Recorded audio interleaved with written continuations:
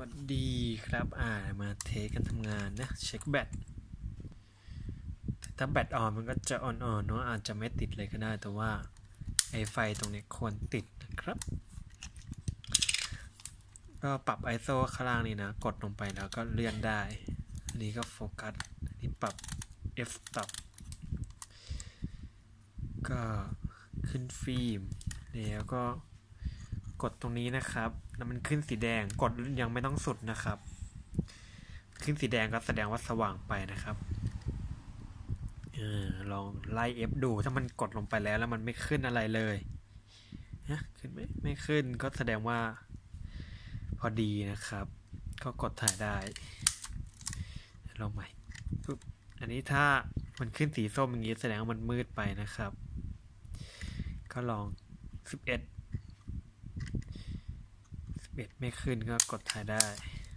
ถ้ามันกระพริบกระพริบก็แสดงว่าไม่ไม่เกี่ยวนะฮะ ถ้ามันกระพริบก็แสดงว่า โอเคแล้วอันนี้ห้าจุดหกอย่างนิดหนึ่งนี่ก็นิดหนึ่งอ่า F11 ได้เดี๋ยวลองปรับ ISO แล้วกันลองต่ำลงมาสักสองร้อยหนึ่งร้อยก็ได้ ถ้ายิ่งสูงมันยิ่งถ่ายในที่มืดได้ดีกว่านะครับ ขึ้นอยู่ F11 ขึ้นสีส้ม อ่า มันจะแตกต่างกับเมื่อกี้นี้นะ อ่า F4 ดับ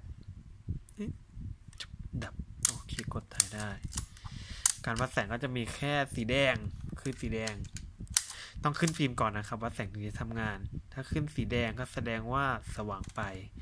ขึ้นสีส้มก็แสดงว่ามืดไป แค่นั้นเอง อันนี้เป็นปรับโฟกัส เดี๋ยวลองมาตรงตรงนี้เป็นตัวตั้งเวลาถ่ายนะครับ กดตรงนี้ไปแล้วเลื่อนปึ๊บกดปึ๊บอ่าเป็นตั้งเวลาถ่ายแบบนี้ ประมาณสิบวินะโอเคปุ๊บขึ้นฟิล์มอุ้ยไม่ใช่เปิดฝาหลังตอนนี้ก็บุบฟองน้ำไว้ให้ใหม่แล้วนะครับรอบ นี่คือใส่ฟิล์มตรงนี้นะครับเอาปลายฟิล์มเสียบเข้าร่องตรงนี้โอเคเรียบร้อยปุ๊บฝาหลังก็กดให้มันดังปุ๊บอย่างนี้โอเคดังและก็แสดงเขาเรียบร้อย ถ้าเอาตรงนี้ไปตรงที่ตัว L มันจะกดลงไม่ได้นะครับนี้กดได้ โอเค ร้อยดี ขอบคุณมากครับ